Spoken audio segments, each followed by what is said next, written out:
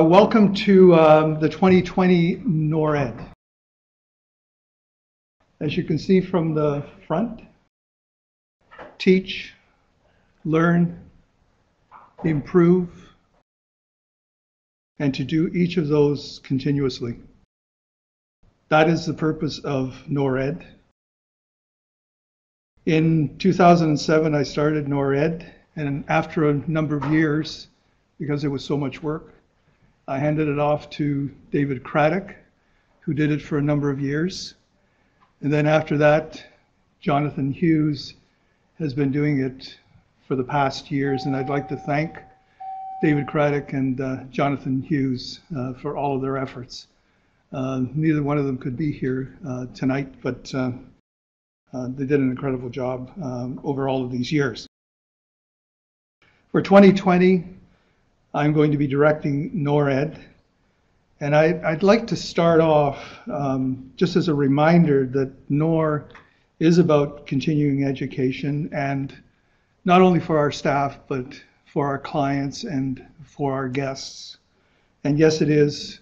The sheets that are in front of you, you can fill them out. And thanks to Geraldine Robson, who collects them and makes sure that uh, architects that are in the audience um, receive the uh, accredited points through the OAA.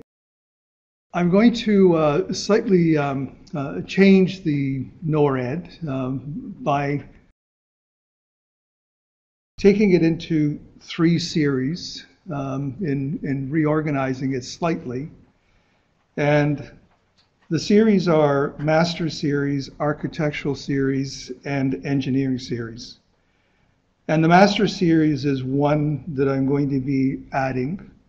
Uh, and it will be lectures about the great architects and engineers of the past, which we haven't had in the, in the past. Um, and of course, architectural and engineering series will continuing can continue with, to be lectures from distinguished architects and engineers. This year, for the first part of the year, uh, we've slated to have five. And we're going to start off by with David Bowick today, um, who is a senior principal at um, Blackwell Structural Engineers. The next one that we'll be seeing is um, uh, in March will be Molly Scott, who is uh, Knoll's studio on the design story, Knoll. The next one after that will be Stefano Pujatti, um, who um, has an office um, in Italy, and he's just recently opened an office here. And he will be talking about going west.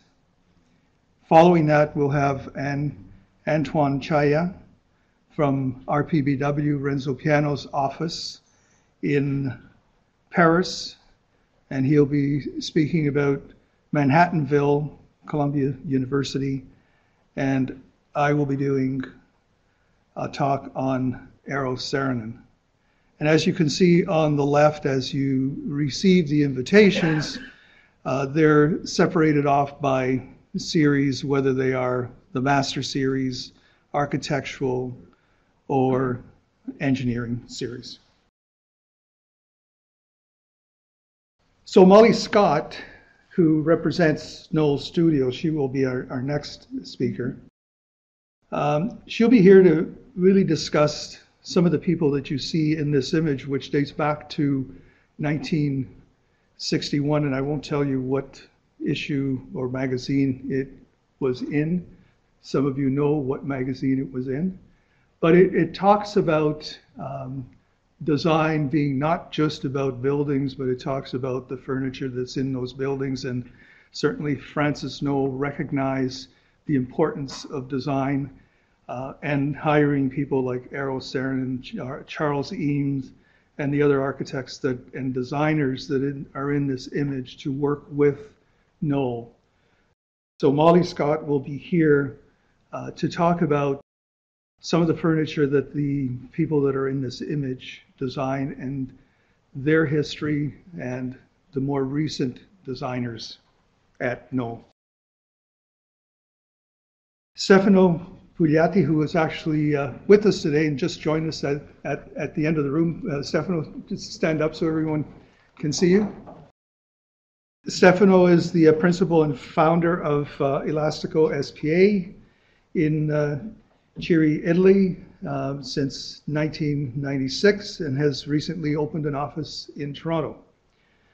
Um, Stefano earned his degree at the University di Architettura di Venezia and his master's at SCI-Arc in Los Angeles, California. And Stefano, this is one of Stefano's projects, and uh, this project is called uh, Slow Horse. It's a hotel. And Stefano will be here um, in two months talking about his, his title will be Going West. This next image will be about Manhattanville, and it's Antoine Chaaya's um, talk. Uh, Antoine is a partner and director at Renzo Piano's office in Paris. Um, Renzo Piano's office has been working on Manhattanville for a very long time. They worked on the master plan. Of those of you that know the project. It's an extremely large project. Uh, Anton's been working on it for a very long time, and he will be here to tell us the story of that project. Uh, Antoine is uh, also um, the um, principal in charge of the new Toronto courthouse as of recently. You can't miss this project. So, when I was in high school, I actually did a rendering of this building. Uh, I could say it's one of my favorite buildings, but when I was in high school, I'm not sure I really understood what architecture was all about. Now I do. It's still one of my favorite buildings. So um, Eero Saarinen, um, um, Finnish American architect. Um, it's not very many of us that can say that we had a father and a mother uh, that were as talented as uh, Eero Saarinen uh, had, and to have friends like um, Florence Knoll um, and Charles Eames uh, to grow up in that kind of environment uh, must have been pretty incredible. And the wealth of work that he did and uh, lifespan was very short. Uh, so um, I think by June, when I'm going to be doing this talk, I, am going to be doing a lot of research and a lot of work uh, putting the presentation together. So hopefully I'll see quite a few of you here for that. Before I introduce the um, speaker, I'd like to uh, just talk about a very brief story about um, a project. In 2003, NORR was shortlisted for the Canadian Plaza at the Peace Bridge uh, border crossing between Fort Erie and Buffalo. There were 23 submissions, nine teams, and they interviewed three, and we happened to be one of those three, of course. Um, Zarafa was one of the other ones, Young and Wright with Bunting Coady and us. Uh, this was a, a, Canadian open competition, and David Clusio is here in the room, and Andrew Schmidt and I worked on this project. And um, I said to the two of them, "We got to win this project," and we did. So we took the twenty-five thousand dollars, which was the stipend if we actually would have won and spent it all on the model, uh, did everything we possibly could. Um, David decided to come up with a, a design, as, as you can see from uh, uh, the secondary uh, um, inspection area, that was um, pretty innovative. Um, it was a, a wood roof um, was fairly complex. Um, Andrew worked on making it as complex as he could, and David uh, David decided that we didn't want any columns that were actually vertical uh, in the building. So, uh, you know, it, it, it, was definitely a complex uh, project from a geometrical point of view. Uh, and then structurally at the time, uh, we had nobody in the office in our, we, we, had a pretty good structural department, but nobody in the office that could actually tackle a roof like this. So uh, I said to Peter Wagner, we've, we've got to go out. And so we went out and brought the most talented uh, wood designer at the time, this young guy from Blackwell by the name of David Bowick. And it was the first time that we met. Tell me how long the project, how long the project was. and, uh, and he came in, and, and guess what? Uh, we won. Um, and on the jury of 15 people, there was one engineer. And after we won, um, David and I went down to uh, Fort Erie on a Saturday morning. And this engineer came up to us and said, I never voted for your, your entry because, you know, there's no way that your rendering, which actually looked like this, uh, is ever going to stand. Your engineer doesn't know what he's doing, and there's no way those columns are going to work. You know, the wood isn't going to look like that. And I didn't vote for you guys, you know, and I'm surprised that you guys won. well, in uh, uh, when we actually finished the building at the opening, he was there. And he came up and apologized. and it's too bad David wasn't there because I would have introduced him to David. So before I ask David to come up, uh, I want to read an excerpt from um, David's um, uh, company, Blackwell, uh, mission statement. Uh, which is apropos for this talk today. And it, I'm only going to read a, a, small piece of it, which I think is really important. We, we believe that our collegial environment is critical to our success. We find joy in what we do. We value constant learning, improvement, and teaching others. We are proud to effect positive change in the built environment and in the community at large. So with that, I'd like to ask David Bowick to come up and speak about his subject today, mass timber. David.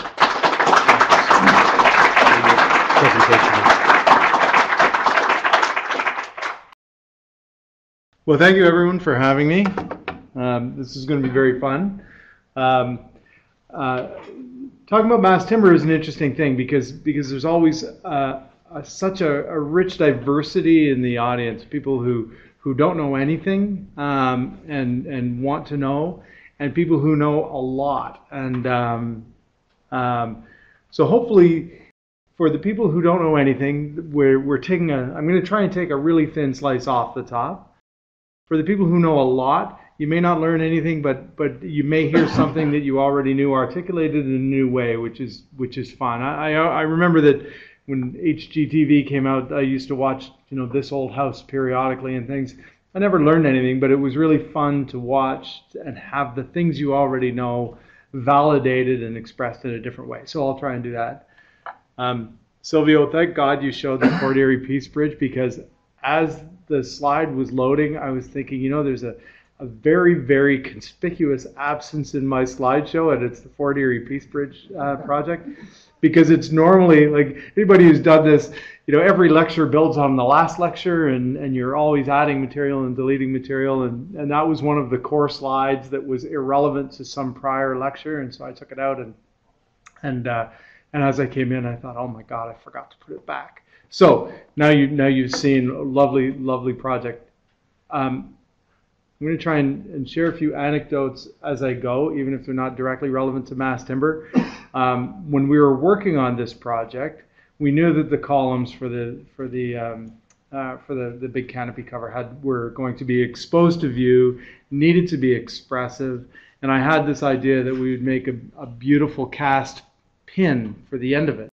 And uh, so I sketched something up and I brought it and presented it in the meeting and and uh, at the meeting, there was a young intern architect from U of T sitting in the meeting, working, doing a work term at um, at uh, uh, at NORR, uh, Carlos Oliveira, who then went on to found Cast Connex, and their very first product was a cast pin for for exactly that application. And I think he already had it worked out, and he was just had to keep his mouth shut during because uh, because because he didn't couldn't let the cat out of the bag just yet. So I'm, I I feel very proud to to be able to feel like I might have been part of the genesis of of uh, that extraordinary company. So, what is the deal with mass timber? Um, to understand what mass timber is, we've got to start by understanding what heavy timber is.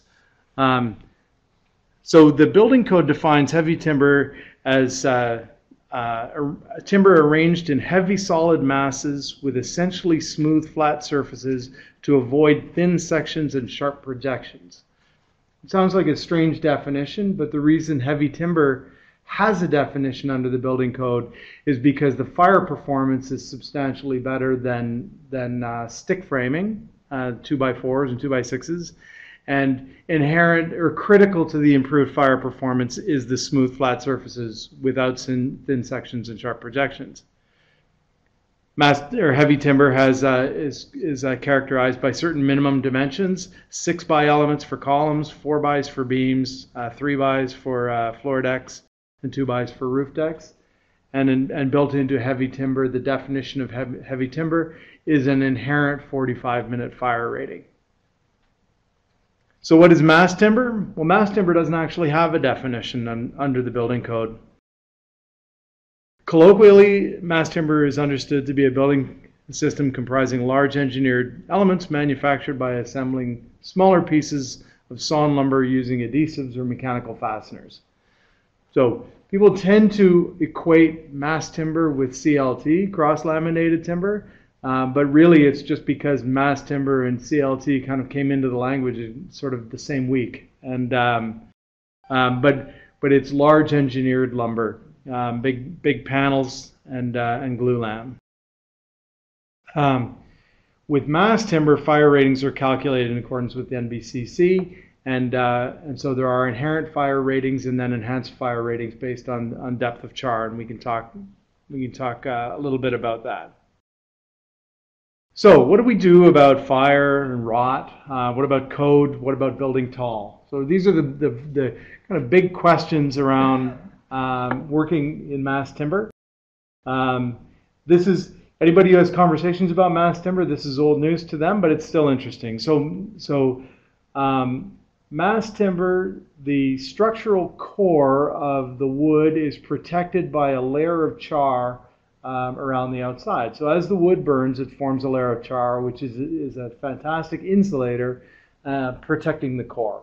Um, when we design, uh, we design uh, typically, in the case of fire, we have we design for roughly one third less load than um, than the normal occupancy, which means that if you have 75% of your capacity left, after that char layer is formed, then then your structure is performing is going to perform adequately.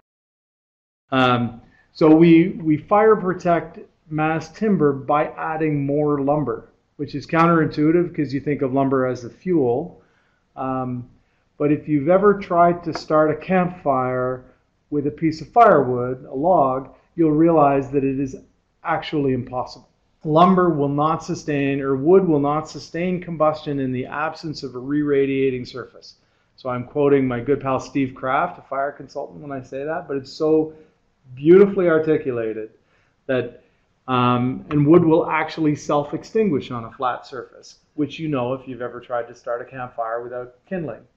Um, so when you have, if you have an entire, entirely uh, wood with it, or a room with entirely wood surfaces, mass timber surfaces, it will burn in the corners um, where the wall meets the ceiling. Um, and it'll burn in the corners of the wall where wall meets wall because the two surfaces will radiate against each other, but it'll self extinguish on the large surfaces if, if you don't have an external fuel source. Beautiful image here. This is this is um, I believe that this was after a great fire in, in San Francisco at the turn of the last century. Um, steel beams that have that have essentially been turned to spaghetti by the heat of the fire, being supported on the the uh, protected core of a timber beam. I should say that that um, and this is this will be no surprise to you uh, as architects, but but when it comes to fire, we, we're concerned with a number of critical things. One is the combustibility of the material, the fuel load that it contributes. Um, the second is the fire rating. How long will it stand up to allow people to um, time for egress? Um, and then the third thing, we're containing fire by fire compartments. And um, um, the compartmentalization and the and the fire ratings we can do in wood without any help whatsoever. Um, so, so we can achieve the fire rating by adding by adding enough timber to, to generate that char layer. Um, what we can't do is make it non-combustible. Um, wood contributes fuel load. So a concrete building, when the when the fuel source is exhausted, the, the contents of the building are exhausted, the fire self-extinguishes. Um, in a wood building, the um, a mass timber building, when the contents are gone, there's still fuel, and, and the building will continue to burn. Um, so when we're doing when we're when we're building in mass timber, we we end up having to to incorporate a number of compensating measures to compensate for the reduction in safety that comes from from the structure being um, a source of fuel. Um, fortunately, those compensating measures have become reasonably well understood. There's uh, redundant uh, sprinklers, um, redundant sprinkler uh, water supplies, um, increased sprinkler coverage. Uh, there's partial encapsulation. There's increased site security. So there are a number of of um, techniques that have been developed um, to allow us to push back the the uh, combustible construction limits. This is a lovely image of the, the from the Triangle Shirtwaist Factory fire in 1911. Um, this was a terrible, devastating fire. There was an awful lot of loss of life. Um, the loss of life all came from the fact that the building owner was blocking exits and and uh, and things like this. Um, and none of it came as a result of, of structure. You can see that the structure did exactly what it was supposed to do. It um, uh, it remained it maintained its integrity throughout the duration of the fire until the fire was out. Next thing we're we're constantly facing is is um, is concerns about water. People perceive wood as as not being a durable material, which is also a, a, big misconception about about wood. Um, wood will not decay in the absence of liquid water. So humidity doesn't have any any negative impact on wood. Um, only liquid water. And if we have a proper building envelope, then then we keep the liquid water out. And in fact, um, if you have wood, it's a good insulator, so it's uh, it's got a low thermal um, a low thermal conductivity, and because of that, it doesn't tend to to um, promote uh, dew formation or, or condensation. Um, so even in the areas, even if the building is intact, in a high humidity area, you'll get condensation on steel surfaces because of change of temperature throughout throughout the day. You don't get that in wood, and if there is condensation, wood is an absorptive material, so so it actually can mitigate. So it's it performs actually very well in, in that respect. This little diagram shows you. So so decay, um, uh, fungal growth requires a moisture content in the wood in the wood of about 25% or greater. And I remember thinking, well, you know, in a normal room has 30% atmospheric humidity relative humidity. That's really problematic. All the wood's going to decay.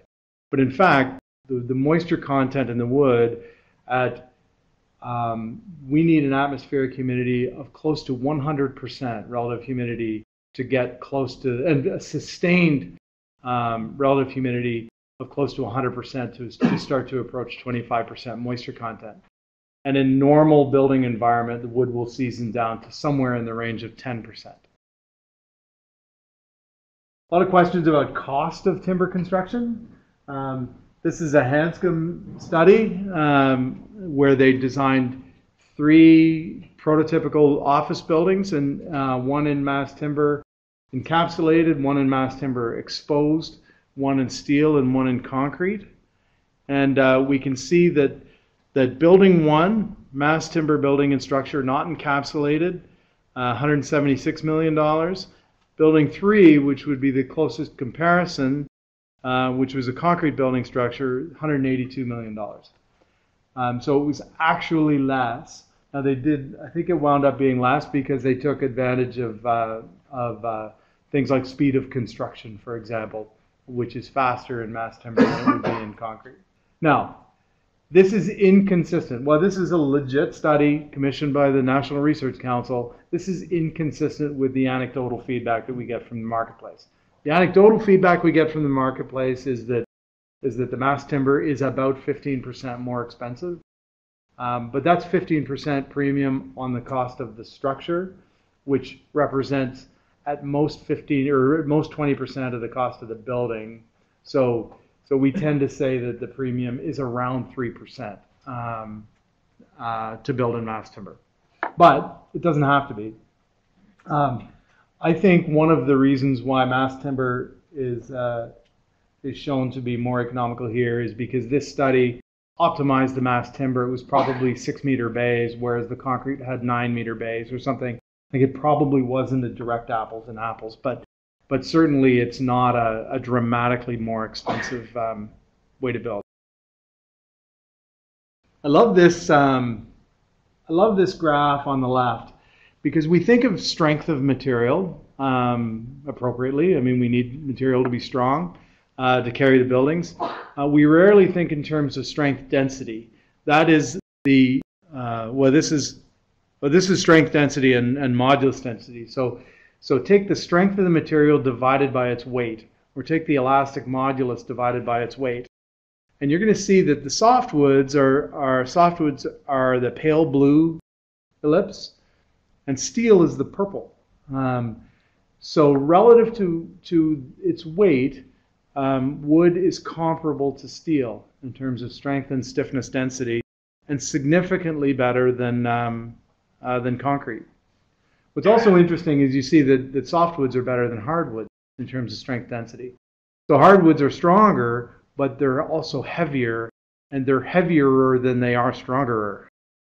So so the, the, the weight of uh, the weight of concrete and the weight of hardwoods count against them if you're if you're considering um, if you're considering that and and softwoods and steel are quite comparable. I touched on this already. Um, you know, pe- people are concerned by building codes. Obviously, um, we need to conform to building codes. Uh, building codes have placed a, a hard limit. Um, the current building code has a hard limit, six-story limit on um, wood frame construction uh, in the building code, and um, and the 2020 National Building Code is anticipating 12 stories encapsulated mass timber construction. So it can be mass timber, but you've got to protect it all in drywall. Um, and so these are hard limits within the building code. But there is also the provision in the building code, the alternative solutions section, which allows you to exceed the, the fixed limits provided you can demonstrate that, that you meet the intent of the code from a, from a life safety point of view. So we've got projects underway right now. 77 Wade has been through the alternative solutions uh, process, has the, has the alternative solutions approval, um, and is, is going to start construction sort of within the year. Um, it's eight stories, 150,000 square feet, entirely exposed or almost entirely exposed uh, mass timber. Um, we're working on a tower right now at University of Toronto at St. George at the St. George and Bloor, um, which is 14 stories, um, which will be largely exposed mass timber. And that one, the, the alternative solutions report is in front of the building officials, and, and we're getting critical feedback. But we're not we're not um, facing an ideological barrier, we're facing techn- technical barriers. And many of you have been down this path that the technical barriers, that uh, technical problems are easy to solve, ideological problems are intractable. So we're, we're confident that we're going to get, get over that hurdle on, on the, uh, uh, the academic tower at the University of Toronto. The International Building Code, just uh, talking about, about sort of expanding limits, the International Building Code 2021 is anticipating 18 story and, uh, encapsulated mass timber construction, and 12 stories partially exposed and 8 story fully exposed. So our 77 Wade project would actually satisfy the, the American IBC, the 20, 2021 IBC uh, by right. The taller, anything taller than six story is all mass timber, by the way, not, not, not light wood frame. So, so we can we can knock off the, the drawbacks. What are the benefits of building in mass timber, or are there any benefits in building ma- with mass timber? It's cool. It looks great. People love it. Um, it's trendy. Um, those are benefits for sure. But um, from a sustainability point of view, this is not news to, to anybody in the room. I'm certain that um, that mass timber will actually encapsulate one ton of um, carbon dioxide for every cubic meter of um, uh, for every cubic meter of, of um, mass timber that, that's used in the construction.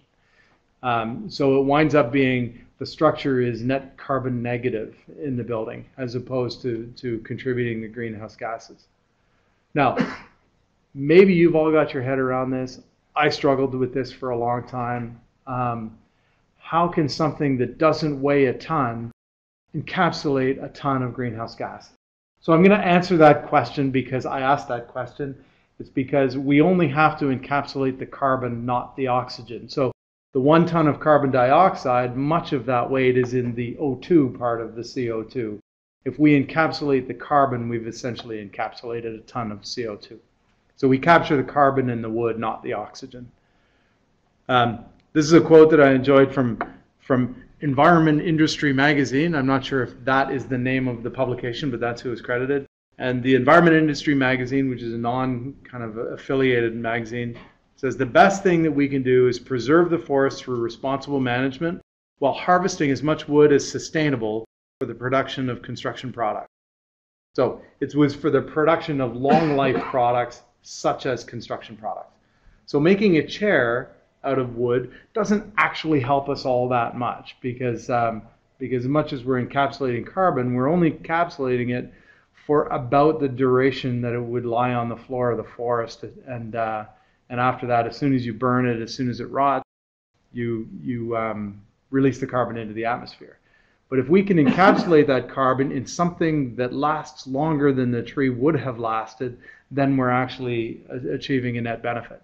And, uh, and so if we can build, encapsulate the carbon by building wood buildings that have a long life, um, then, uh, then we're actually doing something, something very good.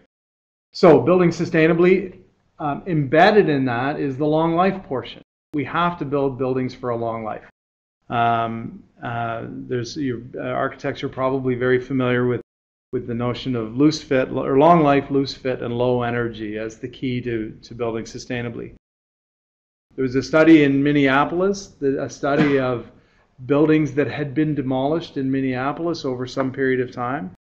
And they found that the wood buildings being demolished were almost entirely over 75 years old.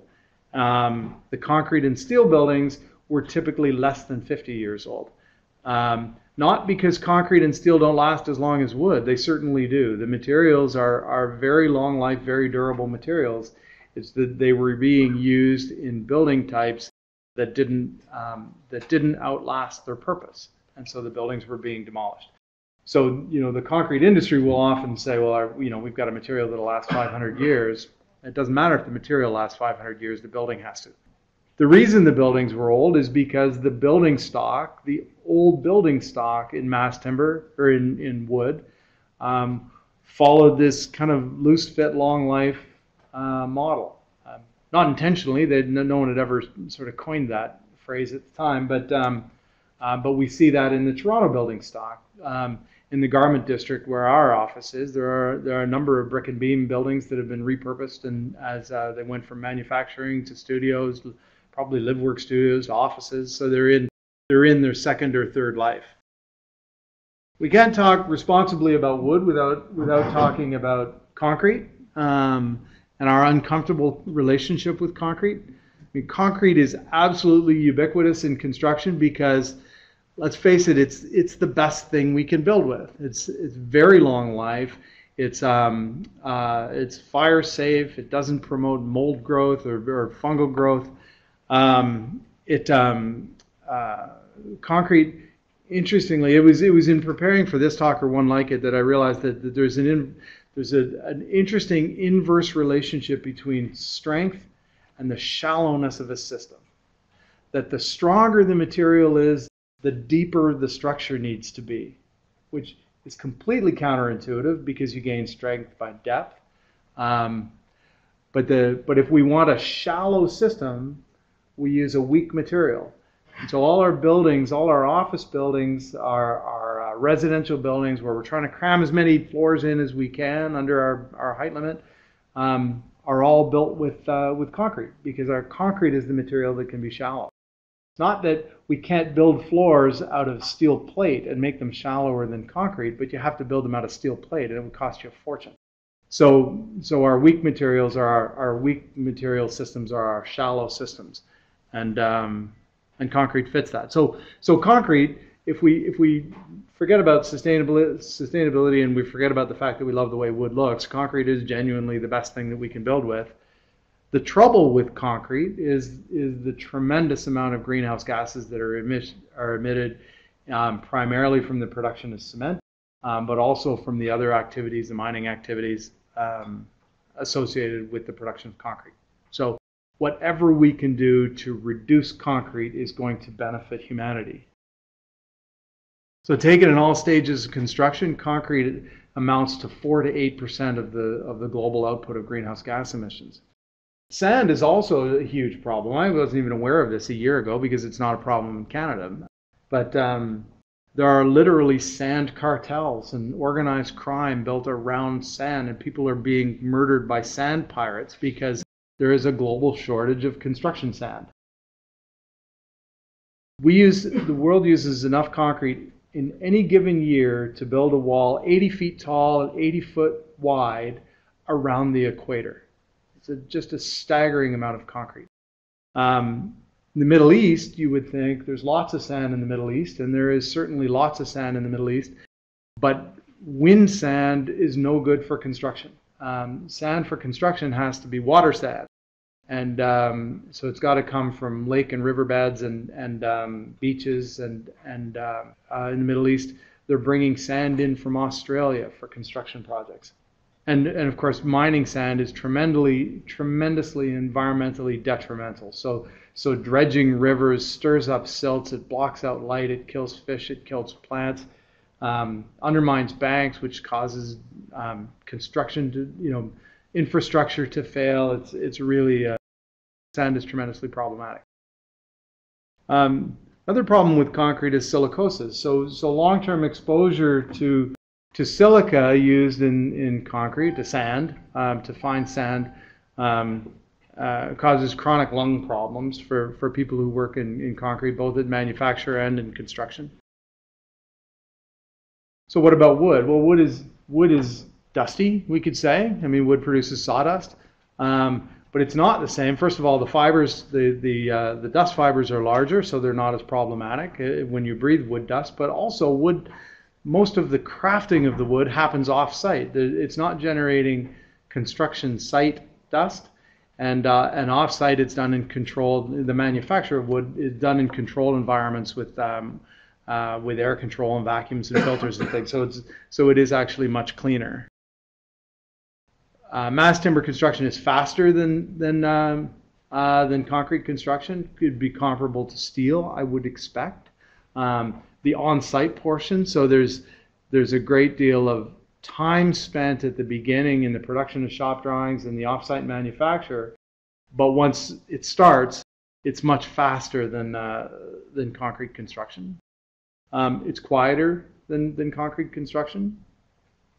Um, it's warmer, which is sort of counterintuitive.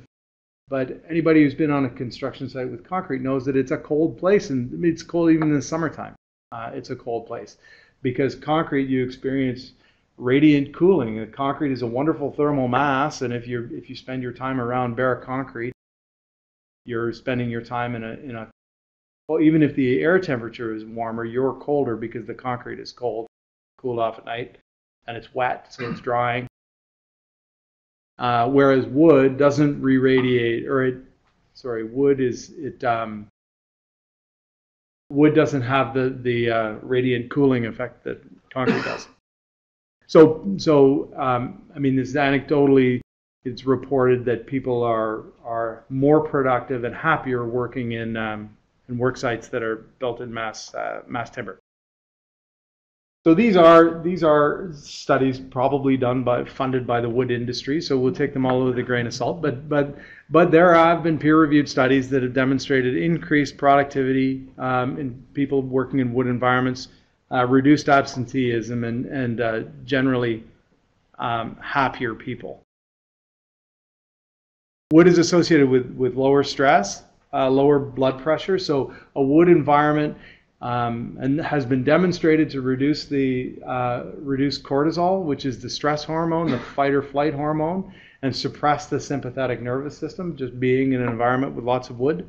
Um, this this last statistic, and I did not make this up. Um, uh, people in wood environment, their heart beats 3,500 fewer times per day. Um, that's 45 minutes worth of heartbeats. So if you subscribe to Donald Trump's notion that, uh, that that you have so many heartbeats in your life and it doesn't really matter how you live, well then then 45 minutes a day really adds up to an awful lot. What is a hygric mass? Um, so it, it contributes to the humidity, it, it contributes a humidity flywheel effect. So what that means is that wood, when it's humid, will absorb the, uh, absorb the moisture um, and generally lower the relative humidity of the air. And when it's dry, wood will release that moisture and generally raise the relative humidity of the air. So it, it, it's a, it's um, a mass buffer in the similar way to, to people, the way that people associate concrete as a thermal mass, wood can be a, um, a humidity mass. Wood is actually also a good thermal mass, which is completely counterintuitive. And if you look at the statistic, the thermal mass of concrete, 0.875 kilojoules per kilogram Kelvin. Um, thermal mass of wood is, is um, 15% more um, one kilojoule per kilogram Kelvin. Um, again, counterintuitive. That does not mean that wood is a more effective thermal mass. It means that it has more thermal mass per unit of mass. So if we condense wood, if we squeeze it down to be the density of concrete, the mass of concrete, then we would find that the thermal mass is is, is equal, but it's it's 40% of the density of concrete, which means that that for the same volume of wood, it's got only 40% of the thermal mass. But it does have an awful lot of thermal mass. Um, it's a poor conductor, though, um, which means you don't have access to it. So, so with concrete, we'll absorb and radiate um, heat on a daily cycle. Um, wood is a much poorer conductor, so it's a much longer cycle. Um, but it does have a tremendous amount of thermal mass, which is a benefit. It's not it's not not quite the benefit that concrete is, but it's a but it is a benefit. Commercial landlords are reporting higher rents, higher quality tenants, and shorter vacancy periods. I had heard this before at 80 Atlantic opened. Um, you're all familiar with 80 Atlantic, I assume. It's a really great project from Quadrangle um, that opened recently, Hullmark Development. But that project is validating that statement. Um, Hullmark has been very happy with the, the tenants um, and, and the rents they're getting. It's a great success for them. So, sounds like everything's great, right? Why wouldn't we build everything? So, we do have a few things that we have to keep in mind. Um, vibration and acoustics. Everything can be managed, so these are these are technical challenges, but but uh, they are challenges. So, um, wood is is uh, can be made to be as stiff as we need it to be. So on one so there are two parts to vibration. There's there's um, uh, the frequency of the the the uh, vibration, and there's the amplitude of the vibration. The frequency we control by stiffness. The higher the stiffness, the, the higher the frequency. And once the frequency is above 10 hertz, we just don't really worry about it anymore.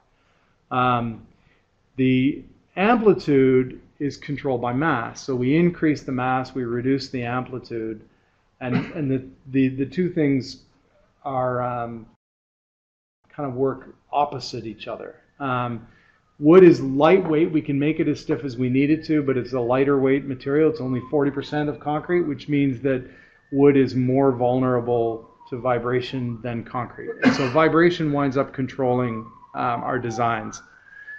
Um, acoustics, similarly, acoustic sound transmission through a membrane is, uh, is mitigated by mass.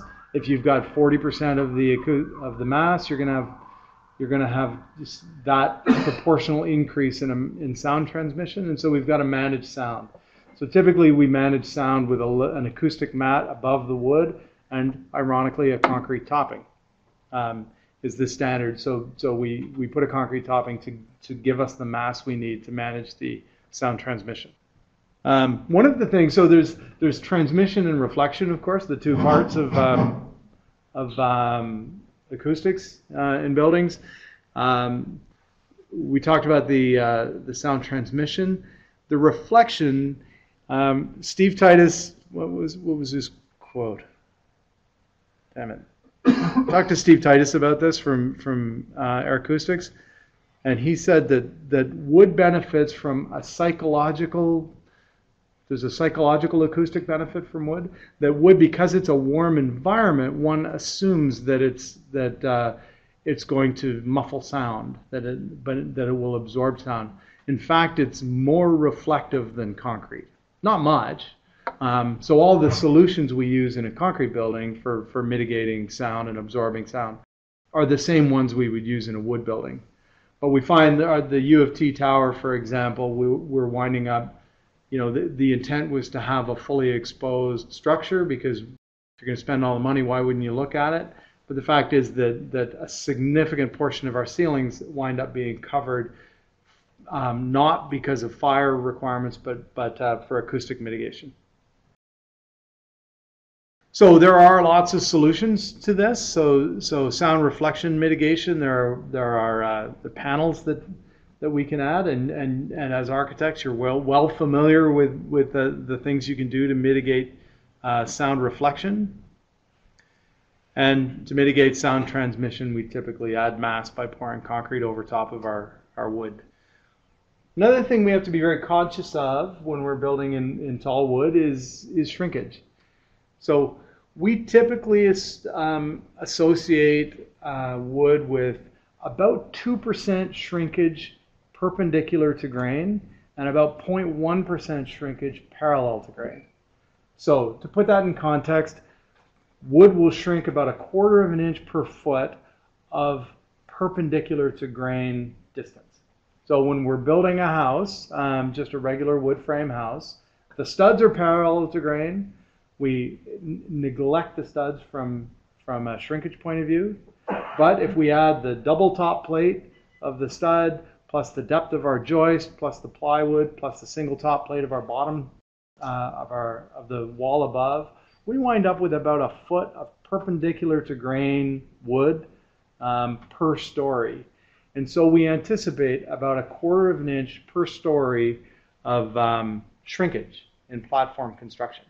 So a quarter of an inch per story is too much. It's problematic, especially when we're dealing with, or a quarter of an inch per story based on one foot when we start building um, mass timber, we might have we might have three foot deep beams, so they're shrinking three quarters of an inch, um, and we might be 10 stories. So we, we wind up with seven and a half inches of shrinkage accumulated over the height of the building. So we can't have that, obviously, which means that we can't do platform construction when we start building tall. Yep? Uh, sorry, just a question. How often is that shrinkage uh, observed? Like every year, every no, that's once. So so we're we're the, so the the quarter of an inch per foot or the two percent shrinkage is that's the shrinkage that happens when wood seasons from about 15% down to about 10%. Um, once it's at it's at 10%, seasonal fluctuation, fluctuations in humidity they do affect the dimensions of wood. They, it does shrink and, and grow, but not in a meaningful way. So it suddenly it becomes comparable to the kind of the temperature effects on you know hard surfaces and things. Like it's it's not meaningful. It's um it does happen, but it's not significant. Um, so what it means is we can't do platform construction. Uh, we, we have to make sure that, that um, all our parallel to grain wood carries on in a continuous way, that a column sits on top of a column. It can't sit on top of a beam, which sits on top of a column, for example. Um, uh, the other challenge with, with shrinkage is the fact that I say perpendicular quarter of an inch per foot or 2% perpendicular to grain, but in fact, it's something like, you know, 2.5% perpendicular to grain in the annular direction, and about one and a half percent perpendicular to grain in the radial direction. So it's not it's it's really completely orthotropic, which is why when you see this diagram, you can see that that top piece cups Um, you've got um, it, because it shrinks, you get twist and you get cupping because it shrinks more perpendicular to grain than parallel to grain. So doesn't tend to be a problem in mass timber because mass timber we're building up our elements out of smaller elements, and uh, so the overall shrinkage is is a concern. But we don't tend to have the twisting problems because for every one that's going to cup one way, you're going to glue it to one that's going to cup the other way, and on balance, there's no net. There tends not to be a net effect. The thing with um, we have to be concerned with with with uh, mass timber construction is beam shadowing. Um, so if we're going to expose the mass timber, um, then then the beams get in the way of natural light penetration. And uh, you know the the concrete the buildings like the one that, that our office is in at 134 Peter, flat slab with with shallow drop panels, tapered drop panels, really really conducive to natural light penetration. Um, we get into a steel building, inevitably, steel buildings have have ceilings because they need them for fire protection. So a multi-story steel building, you never see the steel. Um, you've always got a ceiling. Ceilings can be flat, really conducive to natural light penetration. Um, whereas beam shadowing is a is a real barrier. This was taken at KPMB's office. We were working on a competition, and and I mentioned the notion of it was for a mass timber building. I talked about beam shadowing, and we all looked up and saw like this is just from the first bay to the second bay, and it just gets darker as you go in. Um, and we contract this to Alvar Aalto's Villa Mairea where, with just a big wood ceiling and glazing up to the ceiling, and you can see the tremendous impact of, of uh, how far the light penetrates into the room. So, a lot of buzz these days about mass timber construction. Makes it seem like it's new. It's certainly not new. Um, I'm going to show you some projects. I just went through our, our archive and populated it with projects. Every project I could think of except for the Peace Bridge because I thought it was in here already and it turns out it's not. Um, um, so this is this is the oldest one or one of the oldest ones. The Google uh, offices in in Waterloo, a repurposed mass timber building, uh, long span um, heavy t- or mass timber. This is heavy timber, not mass timber. Long span trusses. Um, this is one of our first one of our first projects, a leisure center with MacLennan Jaunkalns Miller in, in Milton. And I'm just I'm going to throw in anecdotes because they're interesting every once in a while.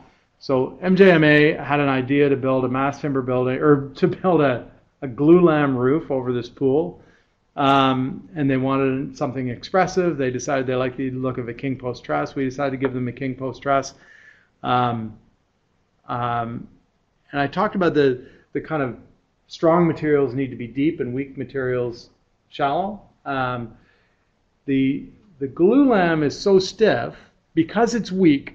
It's massive, relatively weak. I mean, it's extremely strong, but relative to steel, it's weak. Um, because it's relatively weak, it's massive. Because it's massive, it's very stiff. Because it's stiff, it attracts all the load, and we put in the rods, and the rods don't get any load.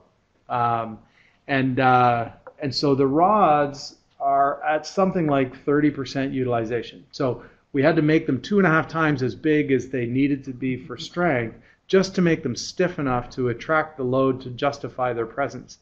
Um, and Gary Williams, who Gary Williams, if anybody knows him, he's, he owns Timber Systems. He's a wonderful guy. He he is the kind of the father of mass timber construction in Canada, as far as I'm, I can tell.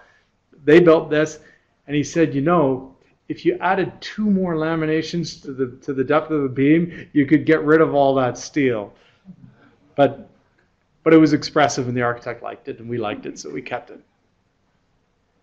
Um, we've since learned a lot of tricks, by the way, and I'll show you some of the tricks. But, but that was the situation there. An early project from '98, the Jackson Triggs uh, State Winery, with, uh, that we did worked on with KPMB, some big um, some big trusses. I should show a. I wish I had an image of a full truss because there's been a there's been a, a university building in the U.S. that's been published quite a bit recently with with their innovative zipper truss.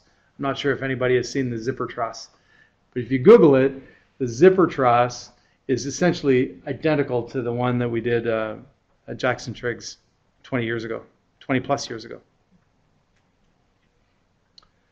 Um, Cawthra Community Center. This is this could be a lessons learned talk.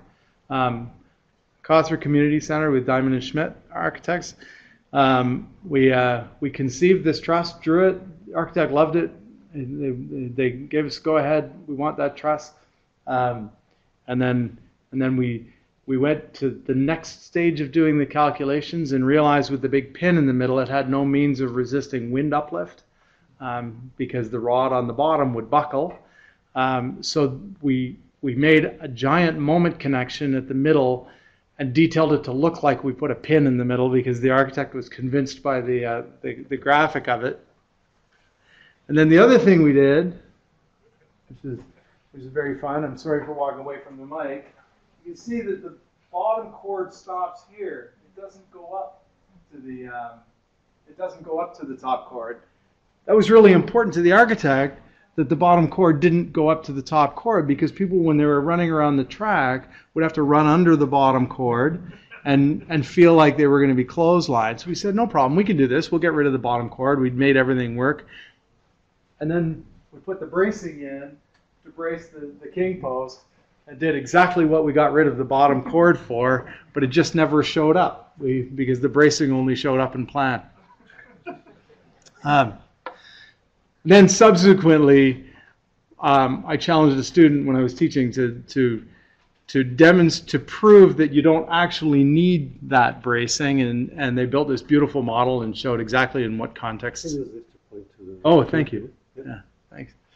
Um, so, so subsequent to this, we we we learned the um, uh, um, we learned how to not need bracing for uh, for the bottom part of a truss. But um, the Bird Studies Canada headquarters, another project from the '90s, a lovely project, from Montgomery and Sisam Architects. Um, and it's essentially the same structural system we're using for, or very similar structural system we're using for 77 Wade, steel frame. In fact, Jamie, this is the same similar system what you're using at the, in the distillery, right? Uh, structural steel frame with uh, with wood decks. These were not mass timber decks because it didn't exist at the time. This is mill deck. It's uh, uh, or tongue and groove. Lovely project, Moorlands Camp Dining Hall with uh, Shim Sutcliffe, another one from from way back in the 90s. This is a, I realized as preparing this what a rich what a rich um, building culture we have in Eastern Canada in in uh, mass timber and, and glulam construction. We, we associate even we in my office associate it as a Western phenomenon and and um, and when I start assembling the projects that we've worked on, it, it was really uh, amazing. French River Visitor Center, um, uh, Baird Sampson Neuert Architects. It's oops. Um, the, on the image on the right was uh, got this big concrete hand picking up, and the two side walls are massive, uh, full story deep uh, mass timber trusses. Lovely Niagara Credit Union with Philip Beesley. And Malvern Library in Scarborough with Phil Carter and Kingsland Plus. Fielding Winery was super cool. There's this was a so here's a lesson on mass timber, um, the impact of connection. So one of the I was sharing this this with with with someone in my office today that that people come to us for our mass timber experience. They expect us to have all the answers, but the fact is no one's built the no one's built anything bigger than five stories in eastern Canada in a hundred years. So nobody has all the answers what our experience in mass timber tells us is that is that acquiring the answers is a process and if you don't know them in advance you're going to follow ask the questions in the order that you think is appropriate and every once in a while you're going to find a question that you didn't think to ask that's going to send you back that will im- inform the uh, and we just have to understand that's the process and communicate uh, that as a process fielding estates we sized everything as one does um, uh, made everything as, as big as it needed to be. And then after sizing it, we went and designed the connections. We've got these big flitch plates. Um, it's a big moment frame because there's no cross walls. Big flitch plates in between because we needed moment continuity through that joint. And um, we designed the plate. and realized that the plates came about that far from each other. By the time we made the connection work, we had almost continuous plates. We could have designed a steel moment frame and clad it in wood. Would have been simpler to construct. Um, so we really sharpened our pencil. We pulled those plates as far apart as, as we possibly could because we just didn't want to get called out on something like that. So then, so 20 years later, we just admit it. Um, the cute, another cute little library in in, uh, in Scarborough, the Mass Timber Rotunda. Oh, here's another lesson. This is this you cannot tell is the lightest, most elegant truss that has ever come out of our bo- out of our office. It is practically invisible, and you can't tell what the structure is um, from the photograph. We would have to show. I, I wanted to find one of my original sketches, but you can you can almost see the bottom chord cable along there. That's the uplift cable. And then that is the gravity cable, forms a bowstring. Uh, and they split in three dimensions. It was absolutely beautiful. And then along come the sprinklers. and then they hang the basketball nets. And all of the other infrastructure, the, uh, the, the, the structure got completely lost. But it was really exciting for a while. Um, Innisfil Recreation Center, MJMA were one of the first architects to recognize, in, from, from our memory, that, that um, how effective wood is in a high humidity environment and started building with um, um, started building with mass timber in their pool environments um, because of the longevity. The the uh, and then this is another one, um, Perkins and Will. So you can see how much lighter this. I, don't know if if you can, but but this is quite a bit lighter than the Milton Leisure Center. This this project came about a decade later. Um, by the time we did this, we had learned that, that the key to to optimizing the utilization of steel when you're mixing it with wood like this is to pre-stress the steel. Um, so this one is a pre-stressed uh, double bow string or double king post. Um, Scarborough Library with Levitt Goodman, which lots of people have seen a lot of recently. This is one of two really lovely projects that that um, were built for CFB Borden. Um, the Fabric architect from from uh, Montreal. Uh, but because it's a dining hall for Canadian Forces Base, nobody ever get no no not nobody sees them, but but the general public don't tend to see them. Really lovely project. This is another one where where this was a, a pre-stressed double king post Fink truss, um, or yeah, so so a Fink truss is one where the bottom chord is not continuous. So you have a web that comes up and crosses the other web, um, and there is no connection bottom chord to bottom chord. Um, and uh, it was a the the Fink truss was was a bad idea by an, an, an ill-informed 19th century engineer, but we thought we'd copy it because it looked gorgeous and, and really was um, it really did turn out nice. Um, this project is is kind of an unsung project. This is a CLT roof with with king posts that actually takes advantage. I'm I'm I'm often dismissive of CLT because it's it's sold as a two-way system, but in fact, anything that's that comes in maximum widths of eight feet is not a two-way system because it only spans eight feet in the in the in the one direction and it's so strong in one direction or so weak in one direction relative to the strong direction that again it's not really a two-way system.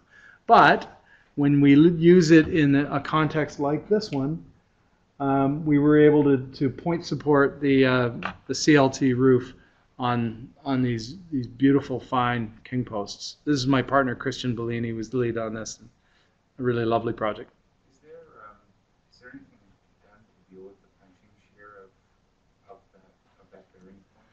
Right? That is a great question, Todd. Uh, there is something done. I don't know what it was. Um, uh, I suspect, I, I, don't know for sure, but, but I know that I have um, drawn the detail of, of the post going through with a top plate and hanger, hanger dowels. Um, whether that's what Christian did, I don't know. Um, but that's how I would handle that. Is I'd is punch through, have a top plate, and hanger dowels. Indigenous Learning Center at Laurentian. This is a, a, project that recently opened. Another another one that, that was really lovely until the sprinklers went in, and they're not they're not too bad. Um, Iroquois Longhouse from Brook Brooke McElroy. Um, and the Ontario Park uh, Waterfront uh, Park, Ontario Place Waterfront Park from West 8. Um, so these are big CLT panels acting as, as steep beams. And this might have been our first multi-story, um, is the St. Jacobs Market, um, the CLT floor in, in uh, Waterloo. This was one of my favorites because because every design decision was entirely pragmatic. This is a temporary pavilion built on the waterfront in Toronto um, during the um, uh, during the marathon. I don't know, four years ago maybe, um, and it was specifically um, it was it was up for a weekend. It needed to be built extremely quickly, um, and uh, the solution was a glulam structure uh, with a fabric roof. So this is a, a this is a, a stretched, a, a, taut fabric roof. Um, so it went up really quick, and it was uh, translucent and lovely and flat. And um, following that, we worked on a, on a on a bigger permanent project. This is the St. Louis Park Arena in um, uh, uh in, in uh, Minneapolis. Uh, my colleague Renee, who's in the room, um, engineered much of this. Um, so big glulam arches. And again, this is this is um, ETFE fabric. So this would be the same fabric that's on on um, um, the the um, airport in Colorado, for example. So we can picture beams and girders. So we have a rich history in, in, in Eastern Canada, and and you know I've showed you the ones that I could think of. I, I should have done done a, a, service and and shown some of RJC's lovely projects or Entuitive's lovely projects. I mean there are lots and lots of really beautiful projects um, in uh, in Ontario. Um, so what would be the floor system? So the reason we're talking about about um, mass timber these days is because we are now able to start building taller buildings and um, and there is not a well-defined archetype for mass timber building the way there is for a concrete building or a steel building. Um, and so every building seems to do it differently. Like every every engineer architect, we're, we're um, uh, in a way we're experimenting. Not technically experimenting because everything can be validated fairly easily. I mean, not easily, it's hard, but um, but um, uh, but it can all be validated. But understanding what are the best systems is not really well established. So I thought um, I was challenged by Elsa Lam to, to, to, to, do an article for the Canadian Architect that, that some of you may have seen. Um, and I thought I'm just going to talk about this kind of six systems. There can only be about six. I mean, how many ways can you assemble sticks? Um, I'll talk about them with the relative merits of, of the six systems and realize there are way more than six systems. And it was hard to stop once I got started. So the first one is the long beam short deck. So we just have a series of beams and we span the deck from beam to beam to beam. So this is the system. If you walk around the corner, go over to uh, the Shoppers Drug Mart around the corner, Mass Timber Building, it's the long beam short deck system. So it's uh, if there was a normal system in mass timber, this would be it. Um, Gary Williams once told me, Gary Williams from Timber Systems, told me that that um, in timber, the solution that has the cheapest deck will be the cheapest solution which is counterintuitive because the deck is the cheap part. Um, um, so how can that one drive the cost? Well, the reason it drives the cost is because there is so much of it. Um, so the the uh, the fiber is less expensive, but there's an awful lot of fiber tied up in the deck. Um, so so we're always trying to optimize the deck and build the the beams to support it, which is why the optimal solution has the deck oriented in the short direction and the beams oriented in the long direction. Um, orienting the beams in the long direction means you have deeper beams, which means your floor to floor heights are higher or your ceilings are lower. That's the compromise with the uh, long deck a long beam short deck. Short beam long deck. So we um, on Shoppers Drug Mart we started with this because the architect was concerned with um, uh, with ceiling height. Um, contractor came back and offered a half million dollar savings or something to switch the orientation. I mean, I'm sure I think he had other other value engineering propositions too, but one of the things he did is switch the orientation, and the architect said for or the owner said for a half million dollars I'll live with my ceilings being a little lower. Um, so short beam, long deck, we wind up with heavier deck but smaller beams and a lower overall floor to floor. If we want the lightest system overall, we will choose to optimize our deck. So if we're designing in CLT, we go to 105 millimeter deck um, because the deck drives the cost. We figure out how far we can span that 105 millimeter deck, and that is exactly the spacing of our beams. Um, and then we introduce girders to pick up the beams and distribute them to our columns. So our column grid is always, or almost always going to be driven by program, uh, but the beam spacing is not. So we set the beam spacing to suit the deck, and then we span that to girders. We span the beams in the long direction, the girders in the short direction, because our our our general rule is you want the more lightly loaded elements to span the longer distance, and the heavily loaded elements to span the short direction.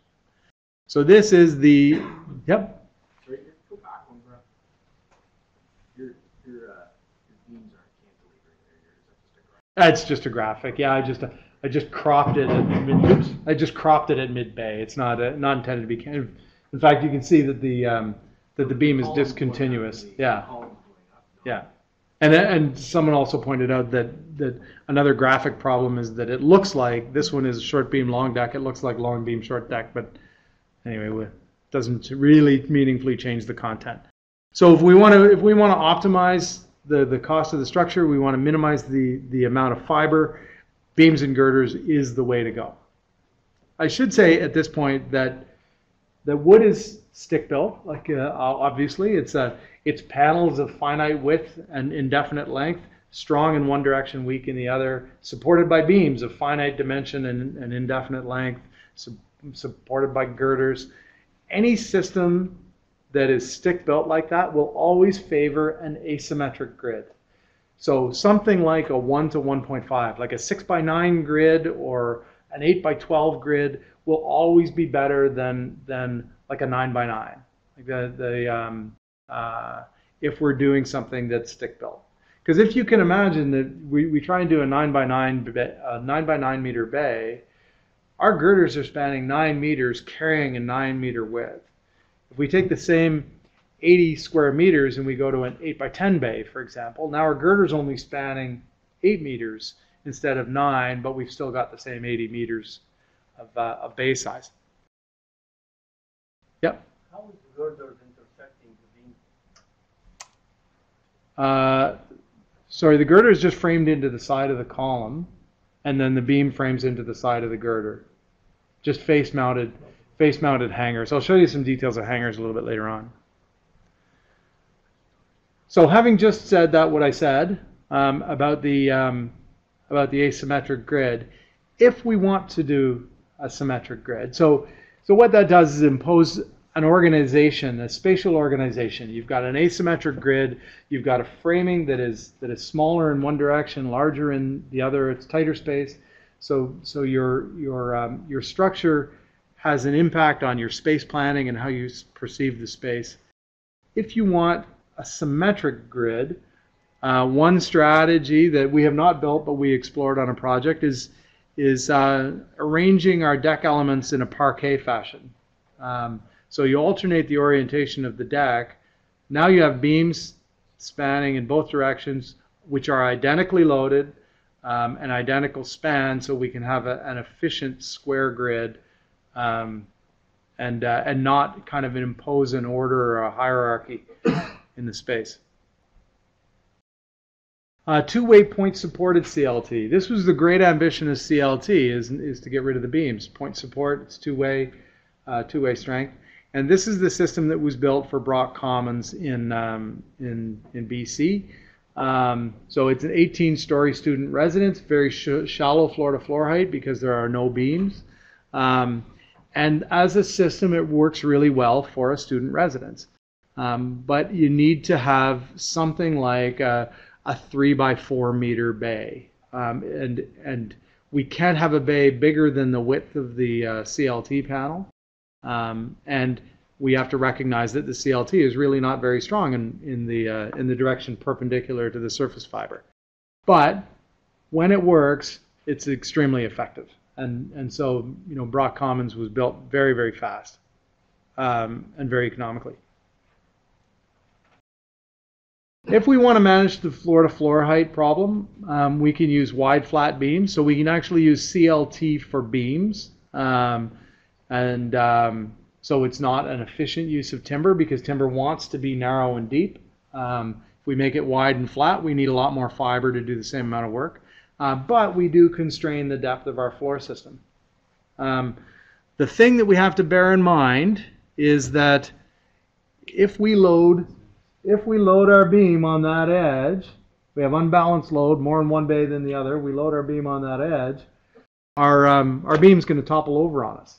Um, so we have to, if we're using wide flat beams, we have to manage the tendency to topple. The way we manage that is that we bear the load at the mid middle of the beam. Our our our deck element or our, our deck slab has to bear in the middle of the beam over the column regardless of how wide the beam is.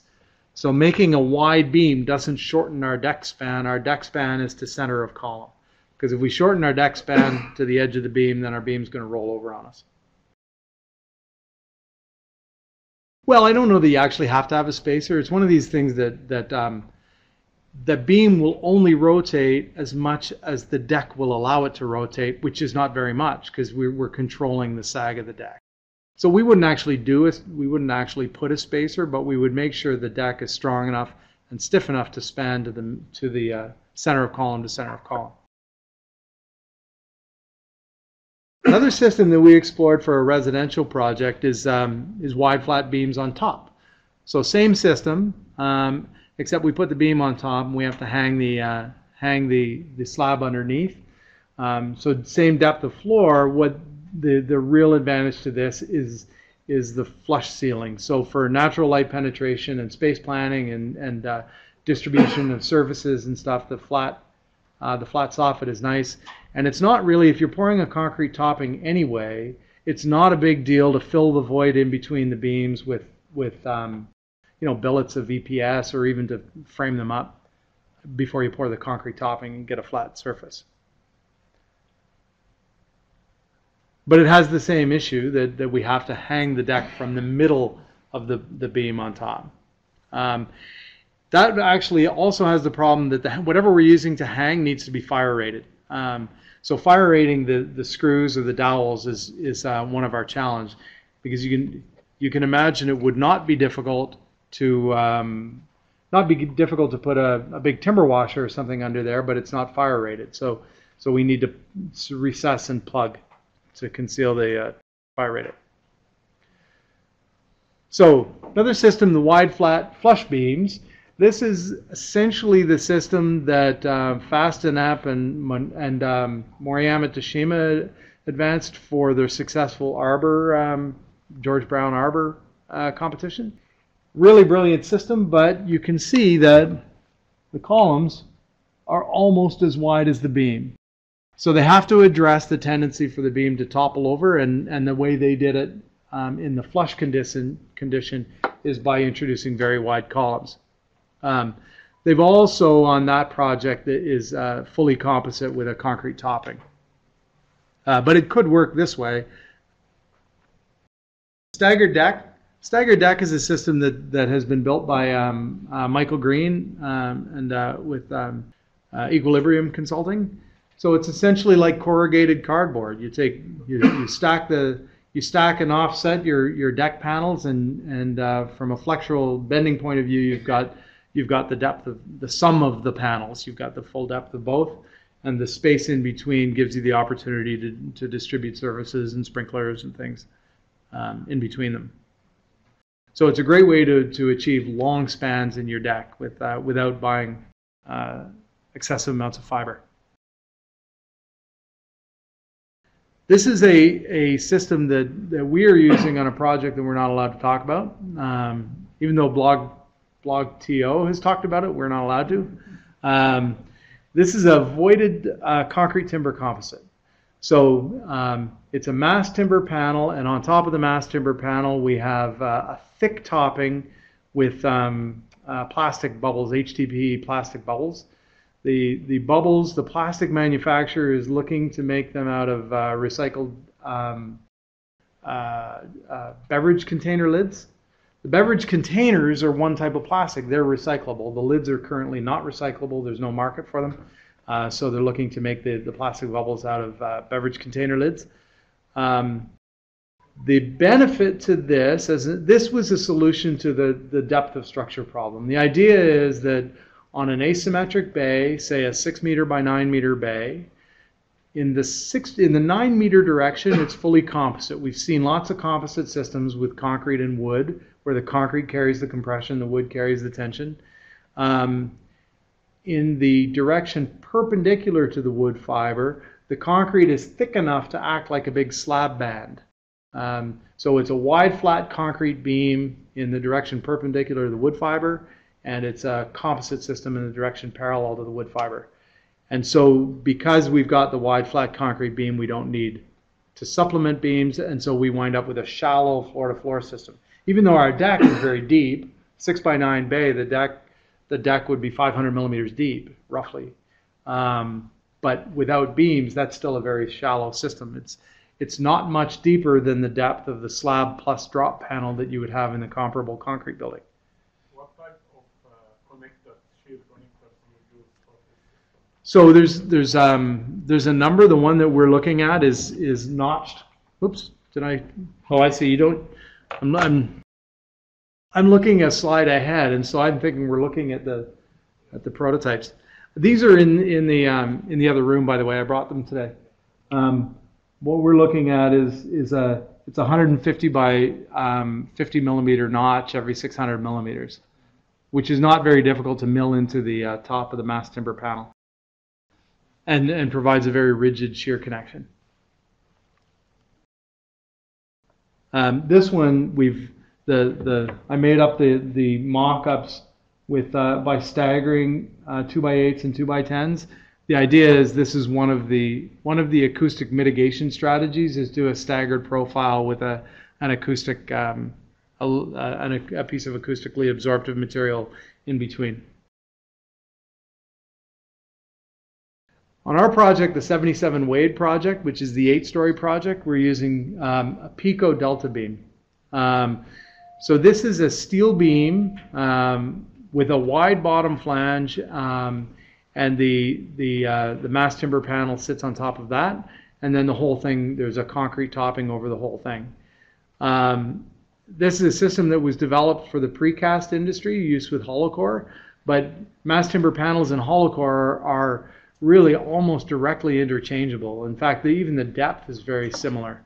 Um, you know, hollow core we might go up to span up to 40 times thickness, and mass timber we're around 30 times. So there's a depth difference, but it's really um, largely the same. But you can see that we, we conceal our beam completely within the depth of the structural system, so we have nothing that penetrates down, but we do have the wide black band of the uh, of the bottom chord of the um, or the, the bottom flange of the uh, the beam. From a fire point of view, that that um, there's rebar is put inside that core, and in the fire condition, the um, um, that beam with the concrete topping will resist the fire loads, so we don't have to fire rate that bottom plate. So this uh, the um, this was a six by nine meter bay, um, or maybe it's nine by nine even actually. So it's a it's a proper kind of commercial bay. Both of these systems, by the way, came out of out of uh, the 80 Atlantic experience, which was not our experience. That that's not our project, but we did know anecdotally that that the performer for the project was a six-story building with nine-meter bays. It was supposed to be the equivalent of a concrete building just done in mass timber.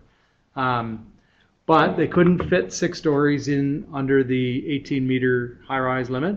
Um, And then the cost and the depth of structure to achieve the nine by nine bay was was prohibitive. So what they built was a five story building with six by six bays. It was still tremendously successful, wonderful project, but the depth of structure is a real problem for for um, mass timber, and uh, and so we developed this one to solve that problem, and then the Peikko is a is a, a product that came from Europe, the Delta Beam.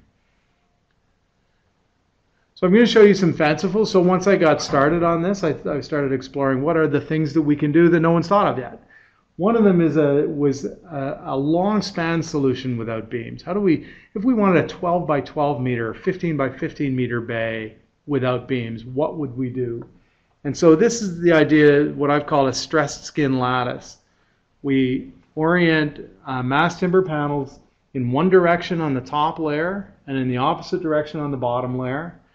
And the top skin is composite with the, the lower lattice layer, and the bottom skin is composite with the upper lattice layer.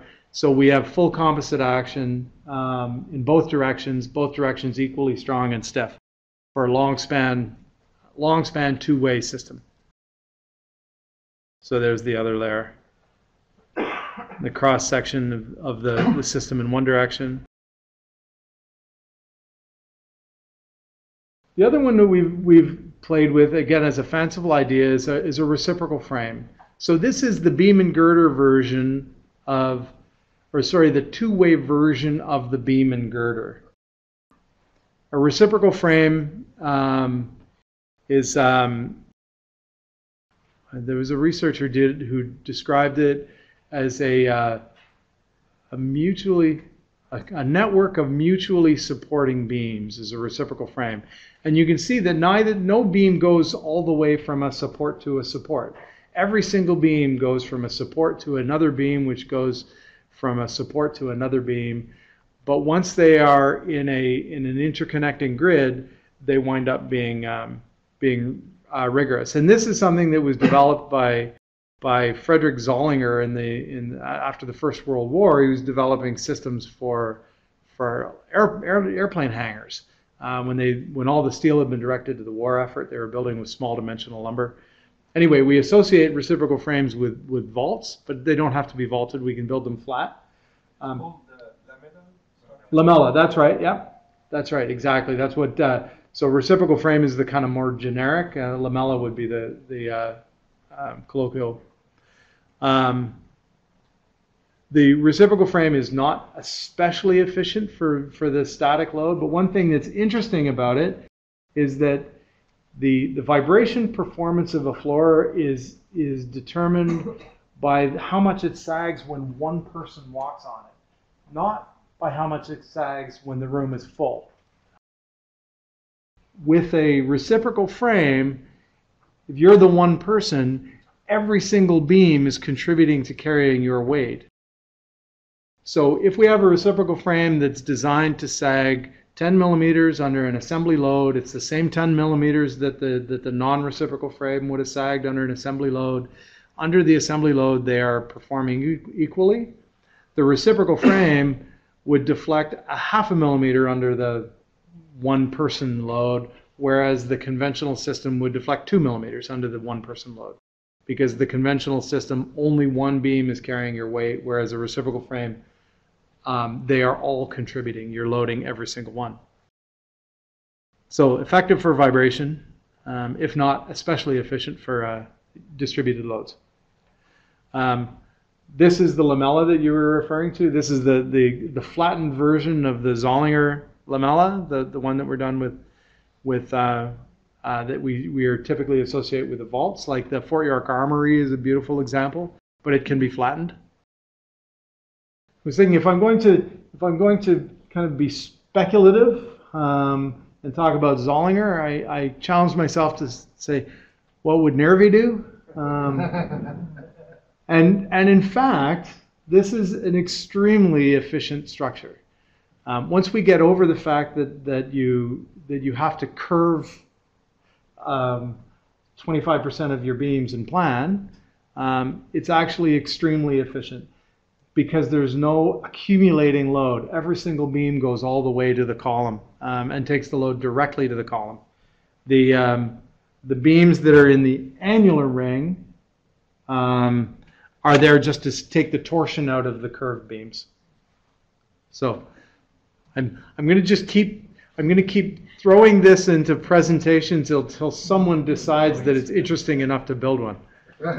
Um, and this, of course, came from uh, from Nervi's um, Palace of Labor in Turin. Was uh, um, was the inspiration for that one? Um, dealing with actually ex- many of the very same constraints that we're dealing with now. So, as you know, we we have historically been, or in the last 50 years, been a labor-driven economy. Um, with, with labor amounting to two thirds or something of the of the cost of construction. Um, in mass timber, fiber accounts for two thirds of the cost of the construction. So the, the, the paradigm is shifted when we're dealing in mass timber. And we're looking for solutions that will optimize material, not optimize labor, which opens us up to doing things that are much more interesting, in fact.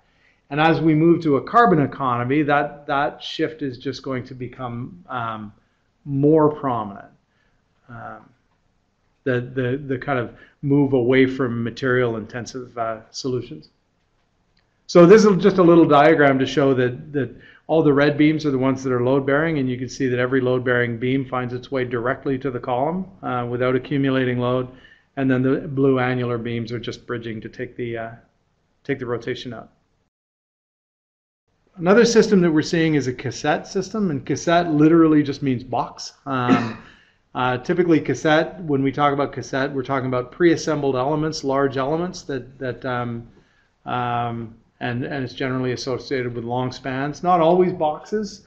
We're doing uh, we're seeing mass timber T's and double T's, which would all kind of fall into the cassette. Um, but it's a great way to achieve very long spans uh, with with optimal material. And there's a company called Lignatur um, from Europe that are incorporating acoustic mitigation into a cassette system. So I'm, I am sure that it is that it costs as much as solid gold, but it is uh, really an incredibly beautiful and, and effective system in, in so many ways. Um, because we're in the early days of, of mass timber, there are lots of proprietary systems around, just like there were in concrete in, in the 40s and 50s. Um, um, we're, we're seeing um, proprietary systems. This is just one example, Cree by Rhomberg, which is a which is kind of precast slab panels that are composite with wood beams and and uh, and concrete. They've got steel. There's a whole mishmash, but I think it's it's uh, quite effective. Some of the things we've been playing with are, C, are CLT shells. So imagine if we could if we could form concrete. We have no continuity from panel to panel here, so that there's so in a way the the the uh, the wood is acting in compression as a formwork, but probably doesn't contribute very much to the to the overall strength. But what it does do is it allows us to absolutely optimize and refine the concrete. Um, so we we're using the wood as a concrete um, reduction strategy as opposed to as a concrete replacement strategy. Another one that we've played with is with with nail laminated timber. So we've talked about CLT because that people associate that with uh, with mass timber. Uh, with nail laminated timber, it's just two bys all nailed together into big panels. Um, you can you can warp the panels without any great cost premium. You just set the the jig up that way at one end and that way at the other end, and you're going to make a warped uh, nail lam. So we can use nail laminated timber to um, create hypars to optimize a concrete topping, again, as a concrete reduction strategy. And you're getting full composite action out of, out of that. We, well, I mean, this particular one, there's no continuity across the panel joint in the, in the, the, in the wood material. And so it doesn't really buy you very much from a bending stiffness point of view. There is another one that I don't have, that I don't have a, a slide where we looked at taking, doing the, the hypar panel, but going full span with it. So the, you know, essentially stretch out the hypar from, from column to column, and there we would make it composite.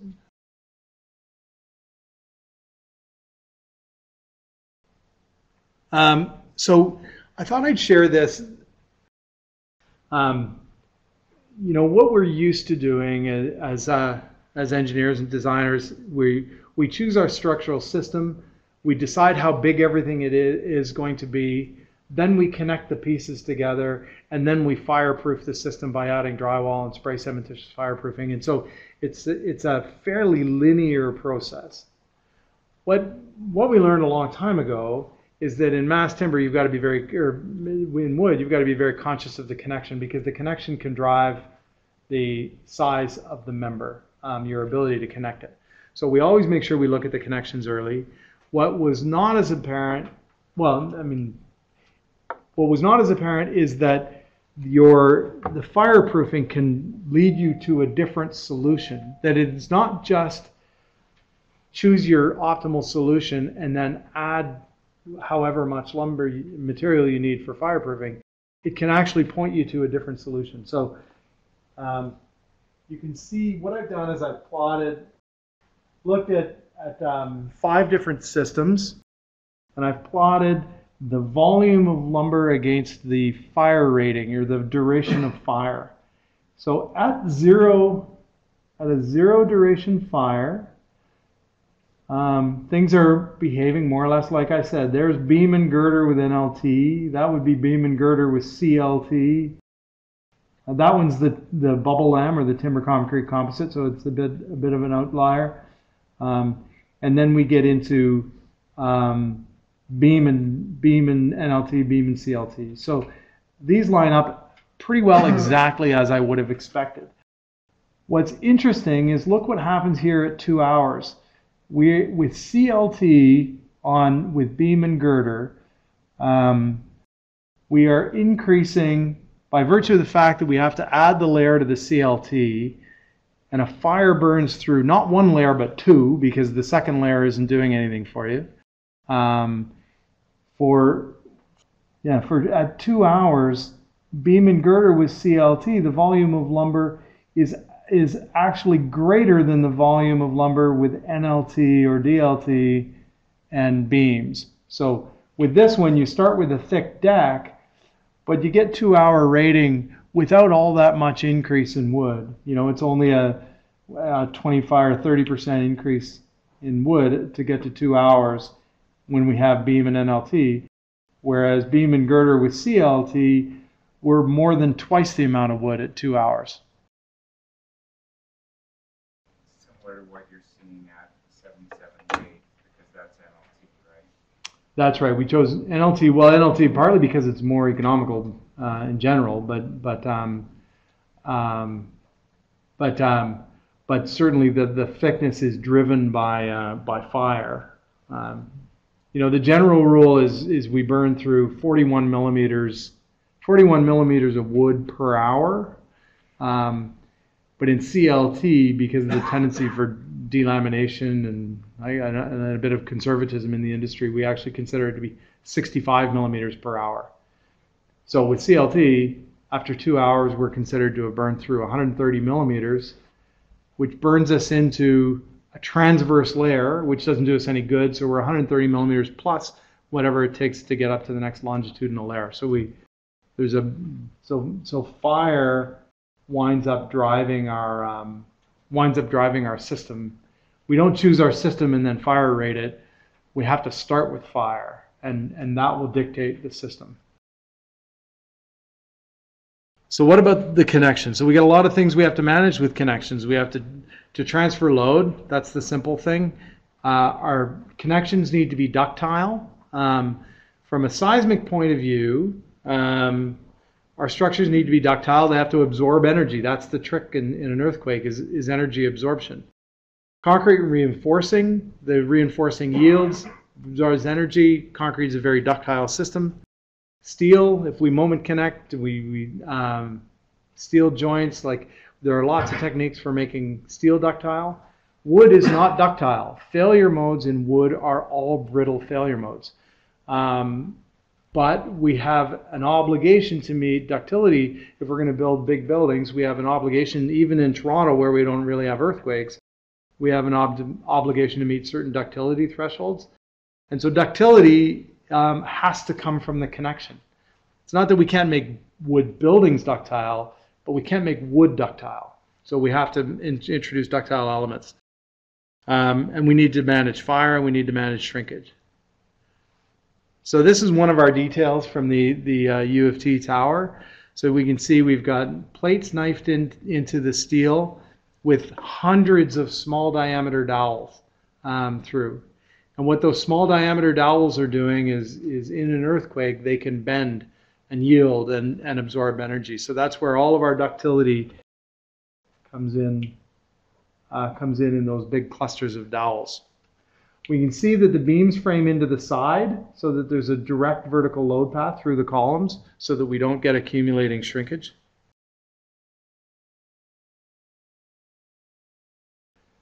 This is, a, I, I pulled this off the web. It was published in Architectural Record or something, but a really lovely diagram. We couldn't, we didn't have a, like, we've, you know, we've, we've got some really lovely models, but we didn't have one as nice as this, so I used the one from Architectural Record.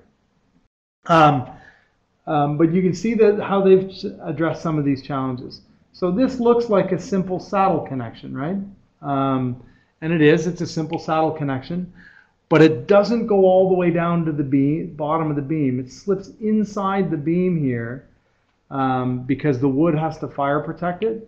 It's not as wide as the beam. It sits inside a, a, a, a milled groove in the beam because again, the wood has to fire protect. Um, you can see that we've got a continuous load path for the for the column. Um, we've got these elements in here to transfer in in plane shear. Um, so we wind up with with um, uh, with very complicated connections once we have start having to fire protect the connection. If we didn't have to fire protect them, everything would just be a nice seat. Um, or like the mill buildings, we'd have these cast capitals and things. We'd, we'd expose the steel, but um, but we have to fire protect them, and uh, and we do that with the wood.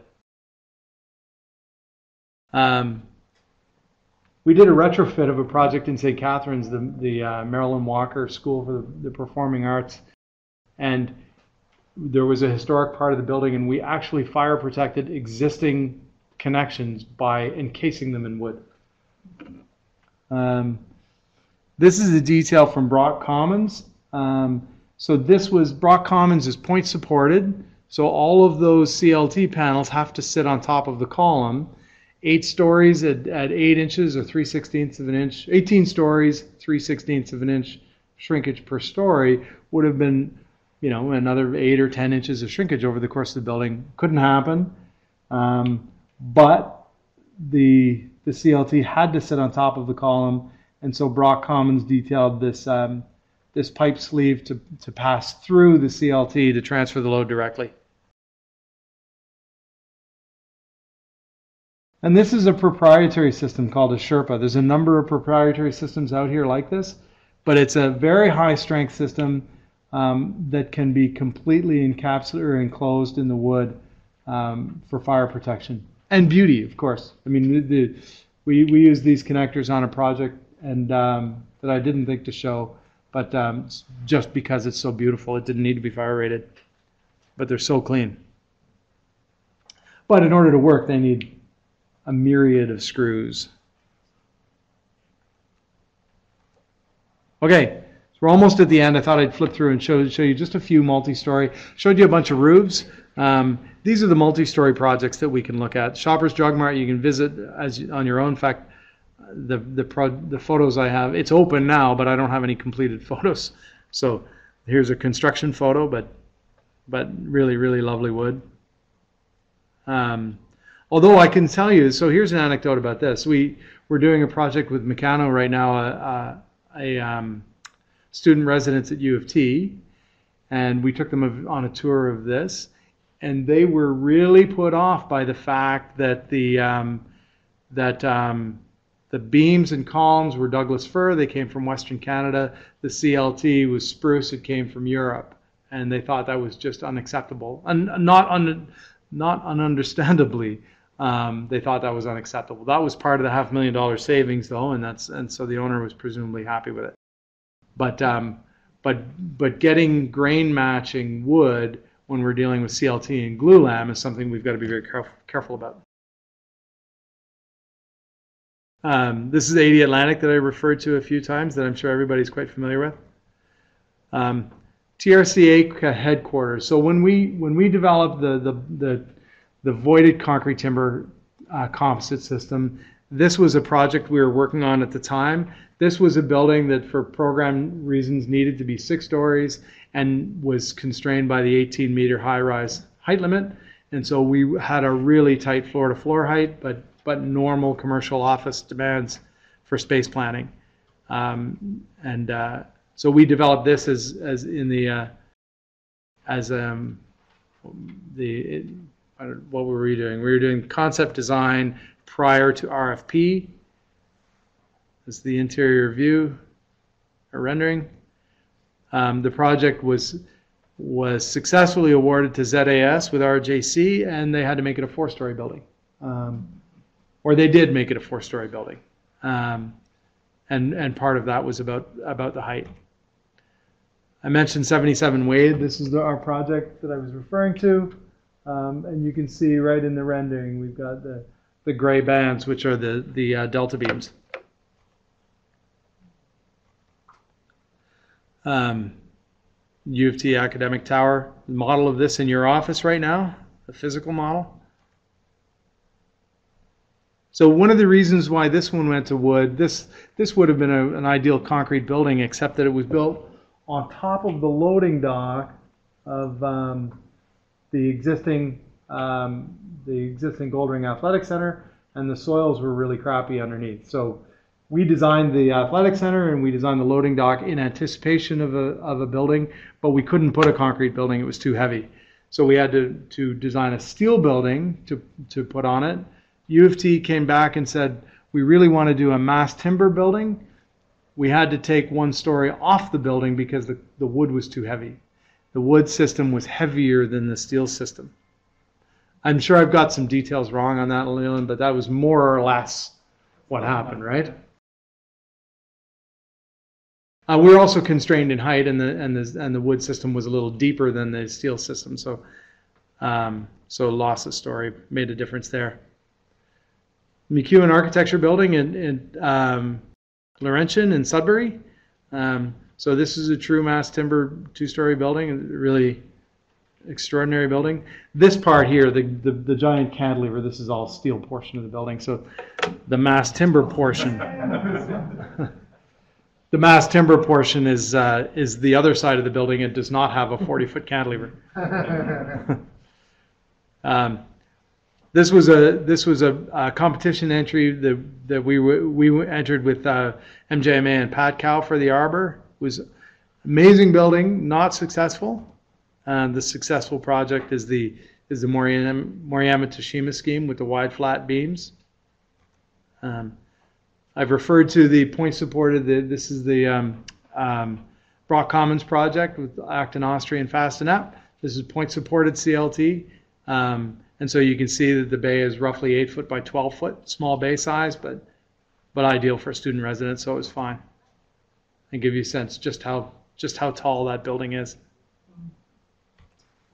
Should show the picture with the drywall afterwards. Yeah, that's right. That's right. That's a good point, Jamie. I mean, that, that project is entirely encapsulated. I think there's a small area at the roof level that, that the uh, mass timber is exposed to view, but it's it's all encapsulated in in, uh, in gypsum wallboard. And then there are a few projects underway. We we were really excited for a time that had the the U of T tower been built, it would have been the tallest in the world if it was built at that time that we were designing it. But there were probably a dozen projects on the boards that had the same dubious bragging rights um, including the, the Mjosa Tower, Mjosa Tower in Norway. Um,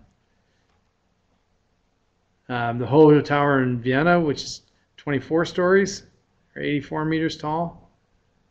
Um, and then this is not the current Sidewalk Lab scheme, uh, but I don't know what the Sidewalk Lab scheme currently is. So, but this is a lovely rendering. Some cool stuff happening in Toronto.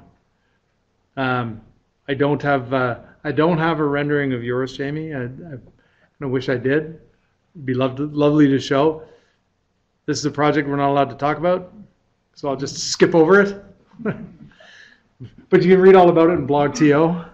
Um, and I'll end with, with this one. The Fogong Temple Pagoda, um, uh, built in 1056. It's almost a thousand years old. 67.3 meters makes it only about three meters shorter than uh, uh, than the academic tower at U of T, um, and uh, all in, all in uh, uh, heavy timber frame.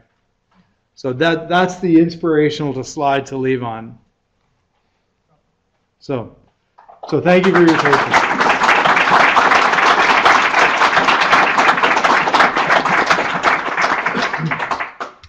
Thank you, um, David. Um, You talked about um, developers, and and there's a number of academic buildings, certainly in Toronto. There's, there's a few uh, that are going up. Um, Can you talk a little bit about developers' reaction to mass timber buildings and whether they're really, you know, um, approaching mass timber buildings? Uh, You, you talked about the costs, obviously, which is part of it. Uh, Can you talk about how they're approaching the mass timber buildings? Sure, yeah. So, so the question was how did, how are developers reacting to mass timber buildings? I think that that um, that some have an ideological response, um, but but the the downtown developers, uh, in, in our experience, have gotten over the ideological barrier and, and have embraced it for the for for the values that that it brings. So that would be true of Allied or Hullmark or Distillery, if I could say that, Jamie. Um, um, and uh, and so then the question is all about the the technical barriers. Um, what are what are the costs going to be? What are, are we going to have problems in in uh, in the approvals process? A lot of people are are concerned about supply. We've got so many projects coming on stream in Canada right now uh, in mass timber, and and a very small number of of uh, suppliers in Canada.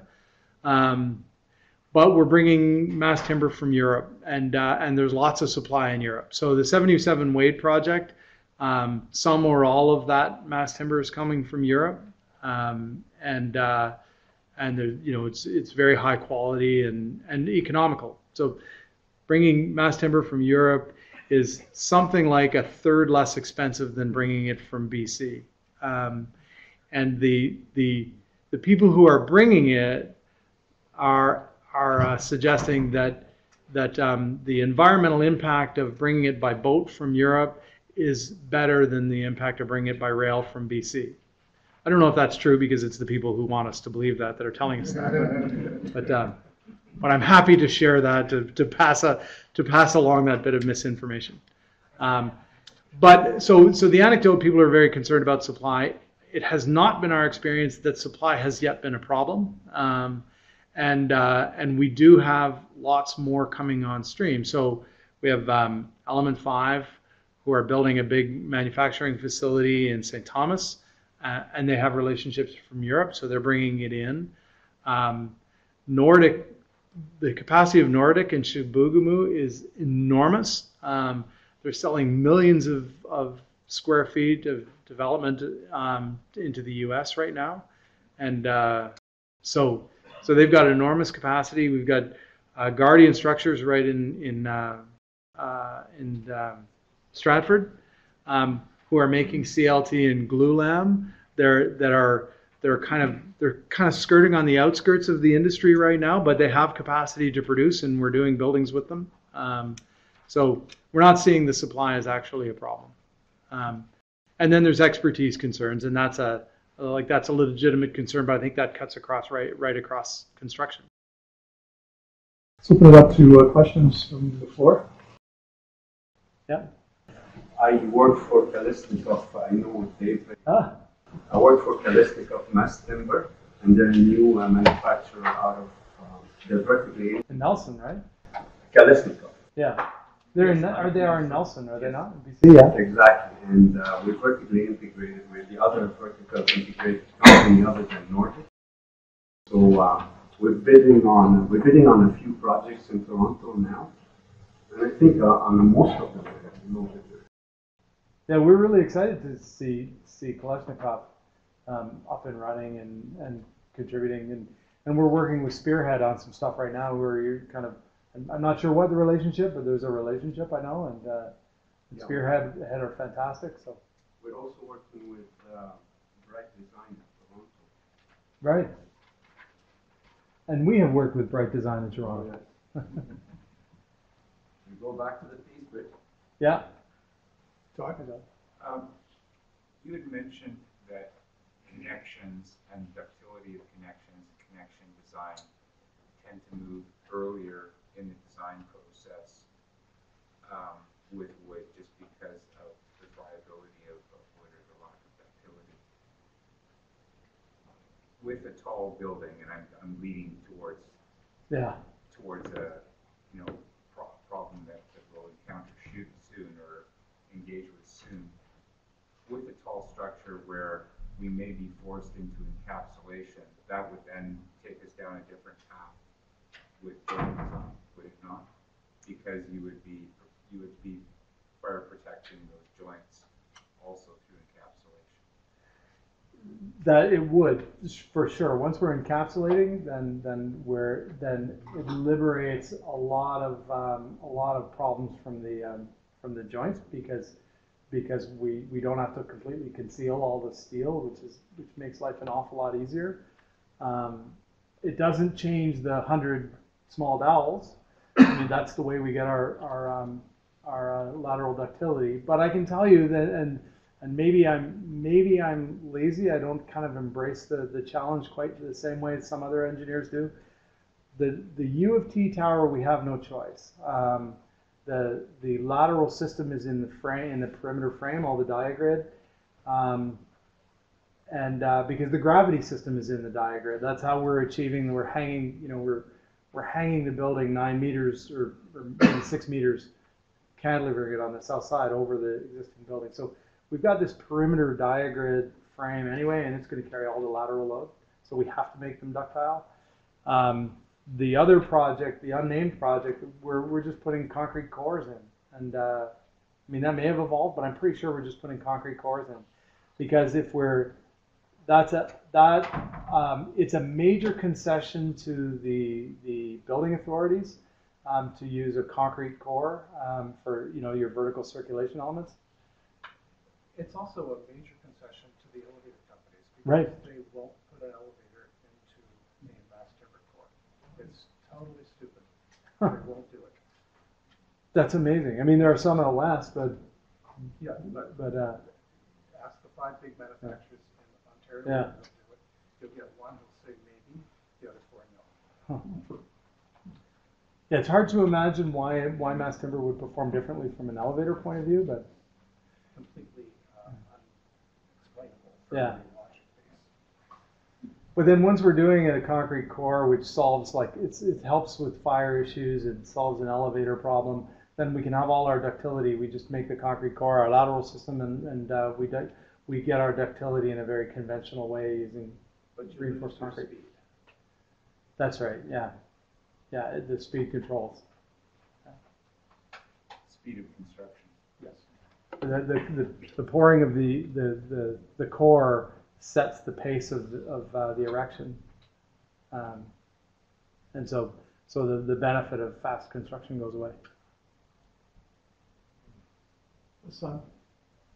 Um, I was looking at the systems and I was in anticipation of this patented uh, Swiss system that has uh, panelized CRTs that, that would uh, uh, produce uh, uh, flat plate without limits. Is this not something that I would love to know about that. There was one proprietary system that I encountered and then I could never find it again and I wanted to incorporate it into the into the presentation and maybe that's the one. There's um, um but I'm not familiar with that one. Yeah. Well, we can exchange. I, I would love I would love that. yeah.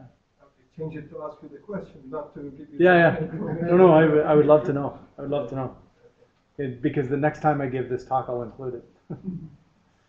Including the Pittsburgh Joe. yeah, that's right. I'm gonna putting that one in tonight. That is done.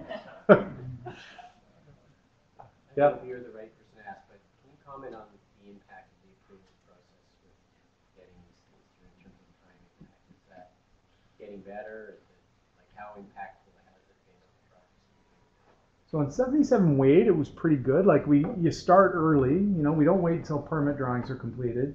Um, we start uh, at you know SD, I think, with, the preliminary report, and you get feedback. You have meetings, and and that one went reasonably well. On the academic tower, we hit a certain point where they said we will not ex- we will not review your alternative solution proposal until your drawings are permit ready, and um, which of course that approvals process informs so many decisions that it would almost make the project a non-starter. Uh, but that that policy was in place for Leland, I don't know, three weeks maybe, like A little longer, but yeah, not too long. not very long, yeah. And they've conceded on that. Then, would you mind? This is Leland from MacLennan Jaunkalns Miller, who's the project lead on the the academic tower. So, so Leland has really been dealing with the approvals in a way that I haven't. Right.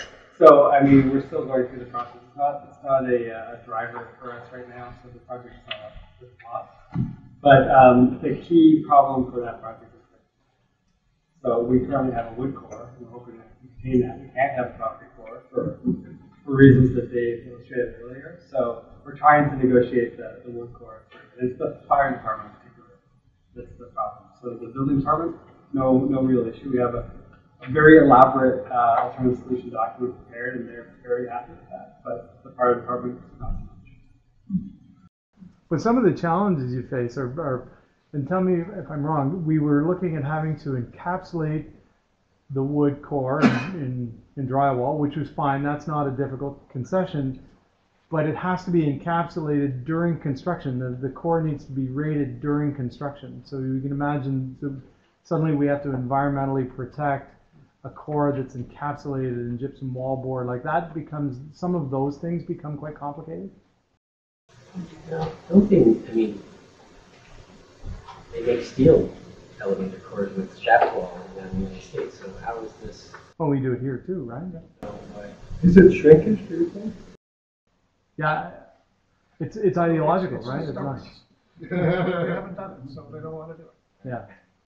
Simply one more. Yeah, one more. Um, so at 77 Wade, uh, was there any questions about using NCC versus OBC? And which one was the higher standard? Sorry, NBC, Yeah. the, the national. Yes. Um, well, we it doesn't conform to either Okay. explicitly. So one way or the other, we're doing alternative solutions. So NBCC leads ahead of OBC, of course, and so so we would be using anticipated provisions in NBCC as a as a um, an argument in support of our alternative solution. So if I could um, just thank David for coming. This is, you've been here before. Yeah, you're And welcome. is- It's this is- fun. This great, uh, this is a great kickoff to our 2020 speaker series. Um, We're going to continue this uh, in the next room. We have something to eat and something to drink, which is, I'm sure everybody's uh, happy about that.